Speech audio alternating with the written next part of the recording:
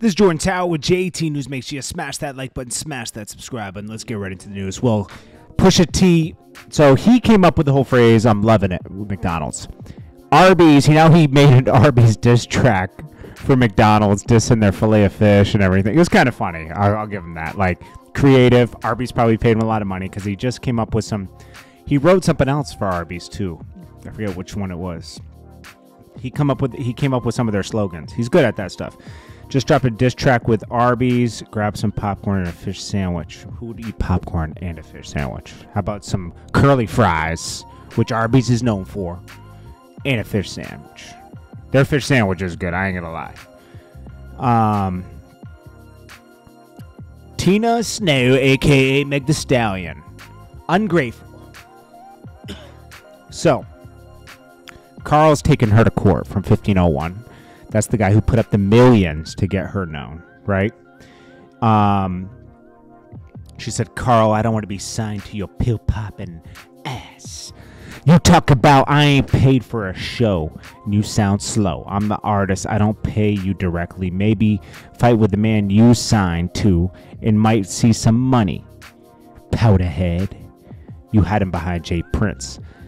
Uh, she's collecting her money, and he she's in a 360 deal, obviously. So he gets money off her shows, and she's not paying it. He has a he's going to bring her to court.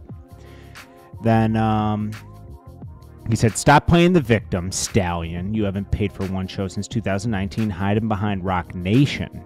You can keep that BS mixtape and send over straight drop whenever you're ready, because they're not they're not allowing this tape here, something for the hotties, to be counted as an album. I don't know why. Then she said, First, the man over my label over my label said I don't make him any money. Now he countersuing trying to keep me on his label because he wants to make more money. I ain't making you no money. Why you not just drop me? Let me go. Greedy men. How about just greedy in general? Okay, the woman that took advantage of TLC was it was a woman. My lawyers ask him an expense report money 1501 supposedly has spent on me. Why this grown man put his jewelry and chains on there? Lord, free me from this joke label. She had a 1501 label, uh, chain too, though. I chose not to say nothing about court, address it online, and, and about court and address th- this online. But I'm getting tired of being painted as the bad guy. 2 47 the last girl on 1501 mad at this man too. My lawyers asked him for an expense report, blah blah blah. Yeah, they already did that. Uh, I'm gonna tell you, man. She she made it hostile by talking about him years ago and created a hostile environment. Then tried to go to Roc Nation at the same time and get free from his. She's she's not respecting that this man put up millions of dollars to get her hot. I don't care what he did. He put up the money. That's big. He's an investor. You ca- I can't borrow money for my house from the bank and say, "Hey, guess what, guys? You ain't fixed this house. You ain't do this. I ain't doing nothing no more." You know, you gotta pay him back. He's not paid back. You- There's a contract with it. I'm gonna owe the bank a certain amount of money when I give them their money back she's gonna owe Carl Crawford interest, you know, on, on what he put in. There's a there's a contract. I don't care what she thinks about him. She's being really ungrateful. I don't like it when artists do that and they make it public. Like go to court and just handle it like that.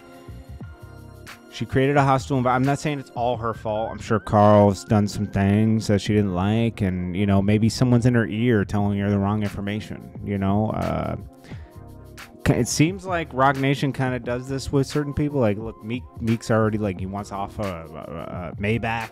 When Maybach, without without Rick Ross co-signing Meek Mill, he never would have gone anywhere. He was hot in Philly, and that's just a fact.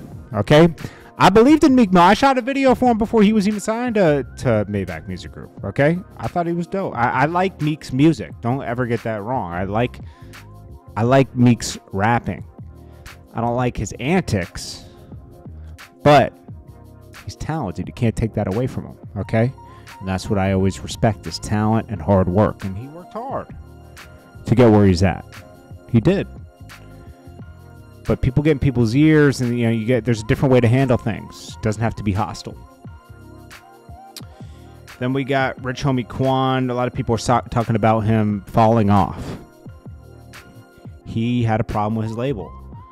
I forget what label that was. It's the same one that YNW, no, no, YFN Lucci signed to. Anyway, I forget the name of the label. Trinidad James was signed to the label too. I Fly Fly's the guy that runs it. I forget the name of it. But anyways, he said we picked the th- so this is the manager of Rich Homie Quan. He said we picked the 30 year plan 10 years ago.